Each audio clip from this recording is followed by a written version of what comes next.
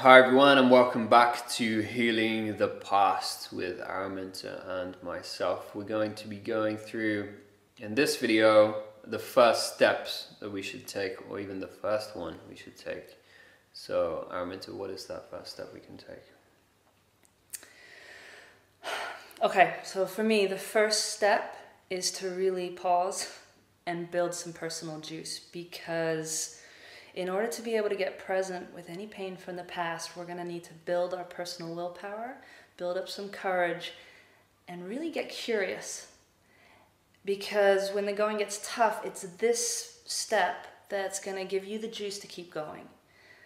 So, what that really looks like for me, I'm going to give you some tips. Really take the ones that most resonate for you. And before you dive into any of the other tools, Make sure you set this foundation piece as deeply as you can. It'll serve you well. So, my first tip is to really ask yourself your belief in your own power. And the more we can own a statement, something like,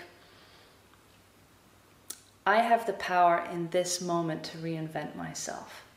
That even though I may have learnt a pattern of suffering in the past, from the past, that means that I can just as likely relearn and learn new patterns of joy. And a way that we can we can build support for that belief is go out in the world and look around and, and, and get some reading material. There are there's been so many incredible human beings on this planet who have overcome, you know, mind-boggling challenges in their life and have gone on to thrive and to be free of um, hatred in their hearts. And so we're not reading their stories in order to go, you know, to suffer even more and to go, I'm so pathetic, I can't do it, but everybody else can. But we're, we're reading these materials in order to build a belief that it is possible. Okay? So that's one way we can um, gain energy, build energy for our belief that if they can do it, so can I. It's part of the human potential. Mm-hmm. And then some people really identify with this sort of um, warrior of the heart, warrior of self love archetype.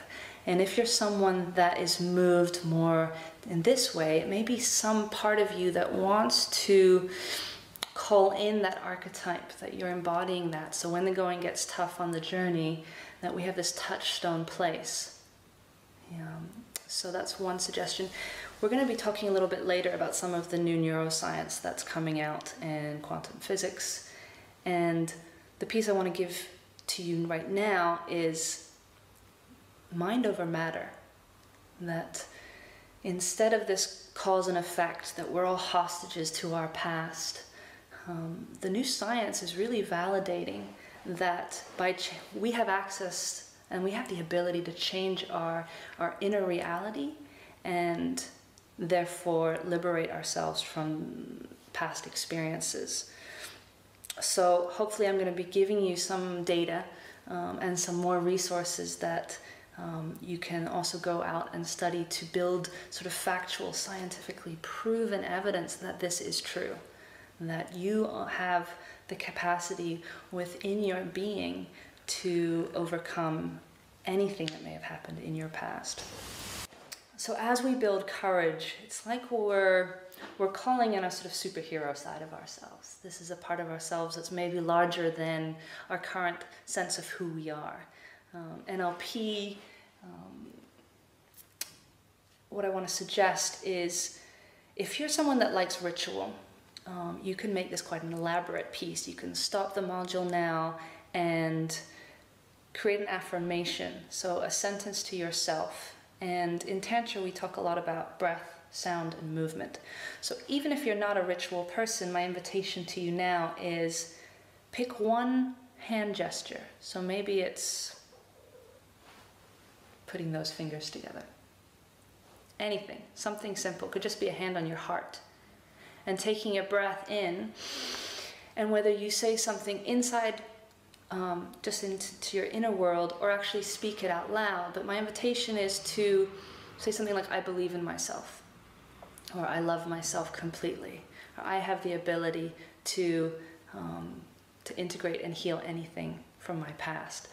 pick one sentence that feels good for you and um, one physical gesture and use your breath. And that's going to be a, a touchstone place that you can come back to at any time in your journey. It's going to remind you of your commitment, your dedication, and your capacity to stay on this path. Mm-hmm. Beautiful. Um, thank you for all that information, Araminta. And yeah, this courage is a huge piece to go forward. I've had to use it on my journey and when I've been in serious pain, um, reliving trauma from this life and even past lives, which we may talk about in, in other videos. Like, so there's a lot of courage that you need, and we can also gain courage from the community that we're building at this university. We're all here to support each other, one, and we can build our community courage, which will help us individually as we build it together. So we're in this together, and we'll see you on the next video.